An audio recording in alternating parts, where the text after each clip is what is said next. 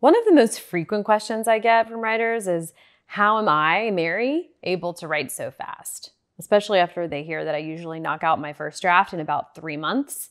Everyone wants to know how. So here it is my answer. There's one common habit shared by almost all writers who struggle with their writing pace, and I'm gonna tell you what that is and, and how to fix it if you want to, so that you can write more quickly. Now, I'm not saying you should be writing more quickly, there's no value to writing fast, but if you wanna write more quickly, here's how you can do it. Let's go.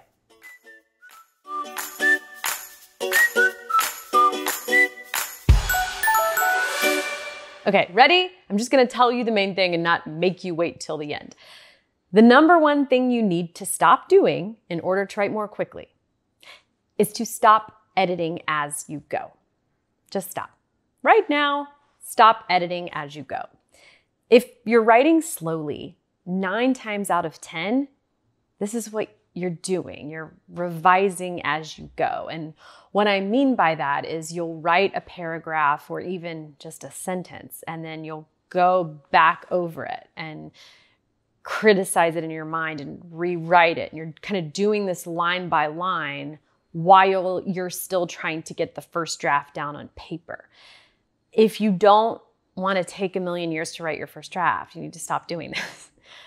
And if right now you're thinking, oh, yeah, that's me, well, I suspect this might be hard for you because editing as you go is a difficult instinct to resist, especially once you're in the habit of it.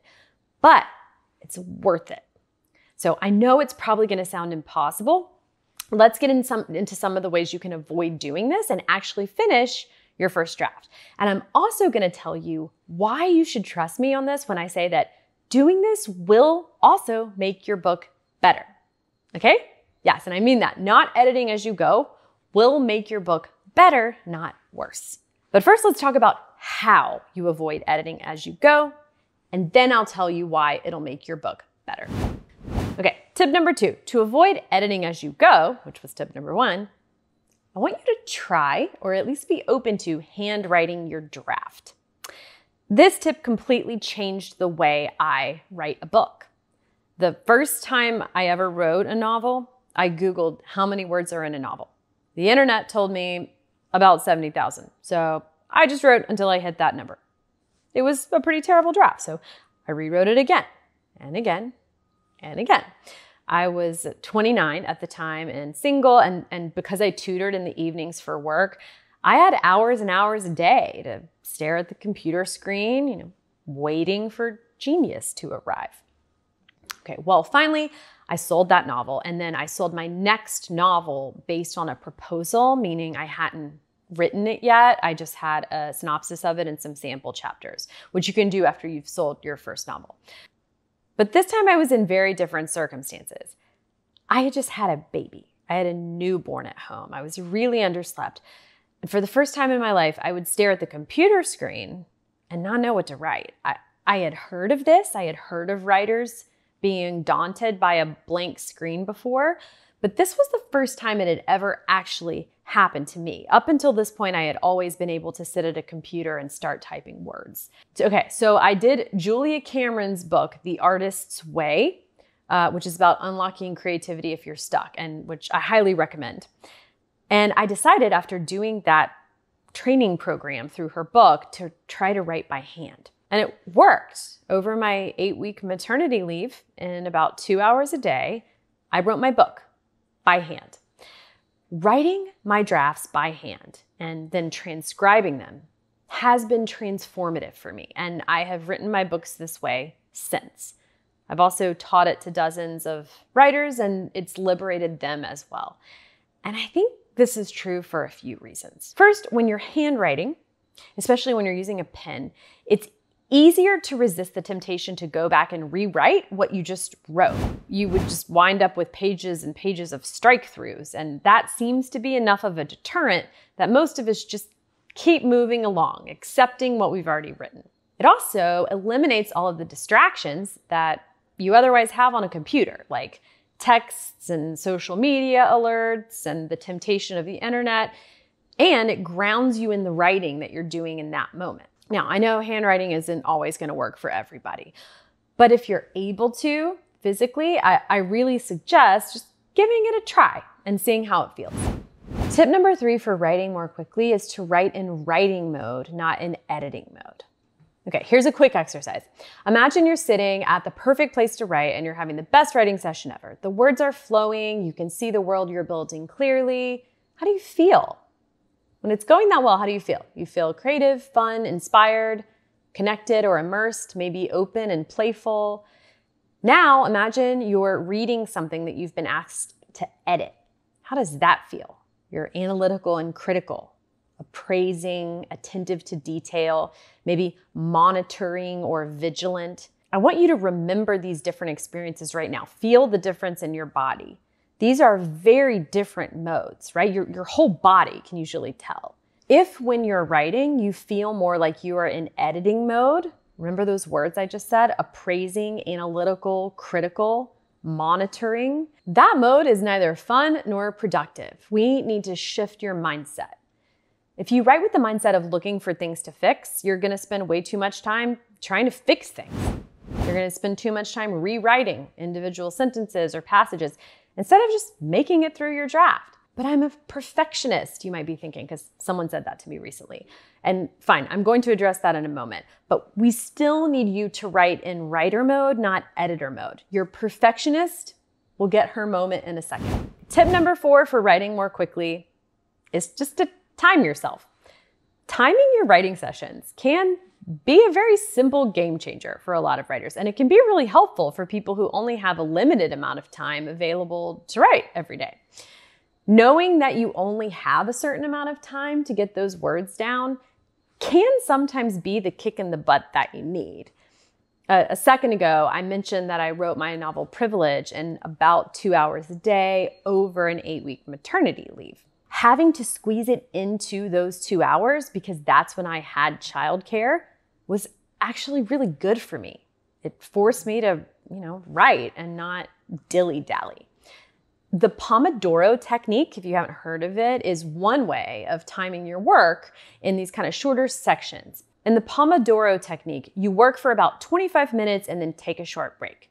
And you, of course, don't have to use an official technique. If it's 45 minutes that works for you, great, do it in 45 minutes. On a limited time frame, you're less likely to slip into editing mode because there's just no time for it. Time sessions like this aren't right for everyone. But, you know, like anything, if you haven't tried it before, you might want to give it a shot. You could be surprised how much you can write in an hour or even in just 20 minutes. Okay, I have two more tips for you for writing more quickly. But before I share them, I just want to invite you to apply for my program, the Book Incubator. The link is down below this video. It's only two questions, it takes under five minutes. And if you're writing a book, you'll definitely want to check it out.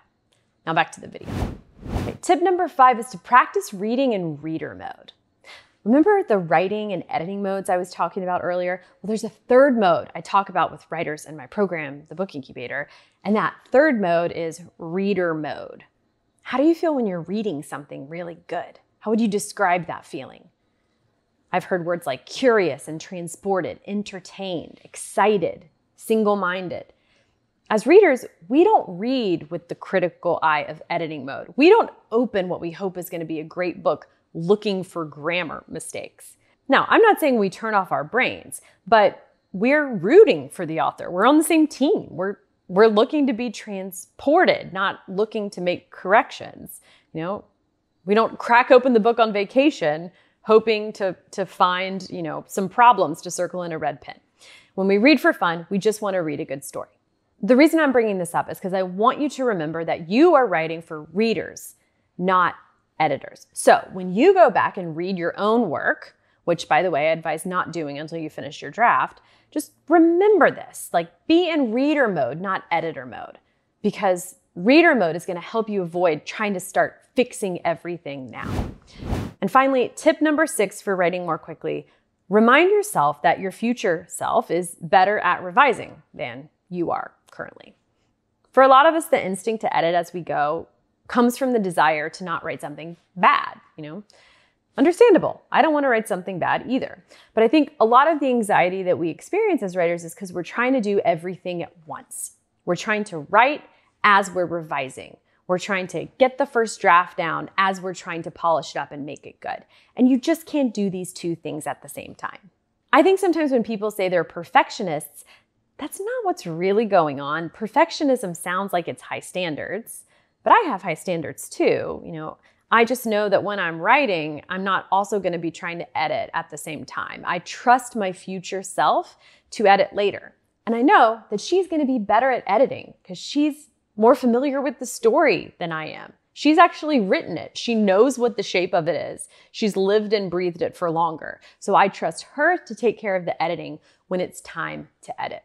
If you struggle with editing as you go, I get it. You aren't alone. But I do want to encourage you to trust your future writer self to polish your draft and make it presentable.